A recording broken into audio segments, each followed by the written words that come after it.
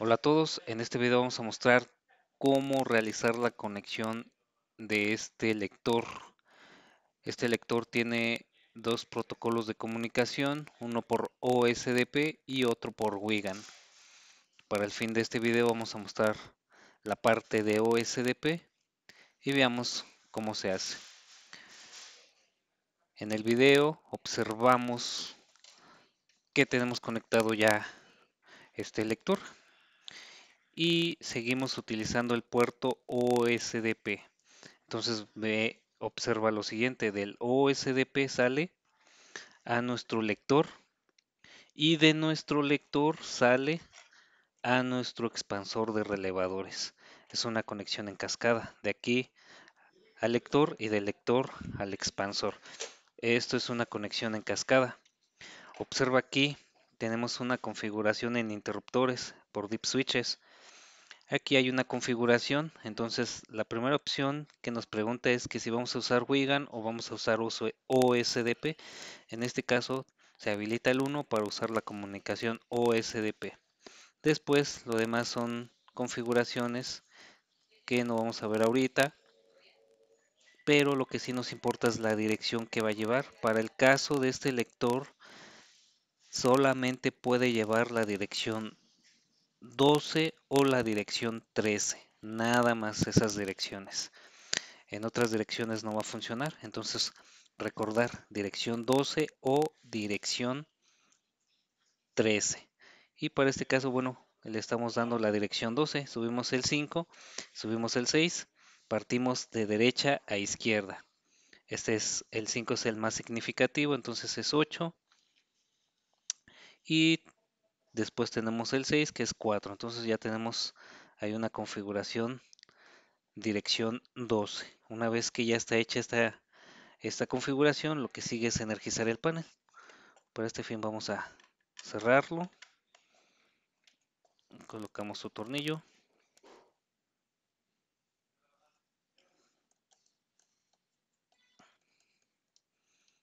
Y pues así queda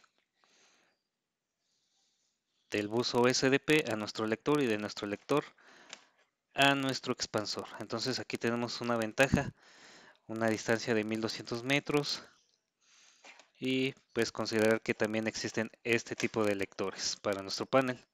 En un inicio, como te comento, el panel, el panel es de cuatro puertas, cuatro entradas Wigan, cuatro puertas, cuatro salidas de relevador. Y aquí tenemos entradas y salidas auxiliares, pero que nos pueden servir para el caso donde conectamos lectores OSDP. Puedo conectar hasta dos lectores OSDP por panel. Entonces, una vez que conectamos estos lectores, en automático agarran una salida de relevador. ¿Sale? Puede ser la 5, puede ser la 6, dependiendo de la dirección que nosotros le demos. Entonces ahora vamos a ver la configuración. Prácticamente lo que tenemos que hacer es eso, direccionarlo. Una vez que hemos direccionado, pues vamos al software. Y en el software tenemos esto. Se ha agregado el panel con su respectivo expansor de relevadores. Y lo único que tengo que hacer para verificar que en realidad ya me esté funcionando el lector es pasar la tarjeta y observamos que ya tenemos un dato, que ya tenemos información. Para este caso son tarjetas especiales, tarjetas encriptadas, que solamente van a funcionar con este lector. Entonces, hasta aquí pues ya está hecha la conexión, ya está funcionando nuestro este lector. Pues ya nada más lo que sigue es agregar al usuario. Vamos a agregar un usuario nada más con el fin de ver que se está activando la salida de relevador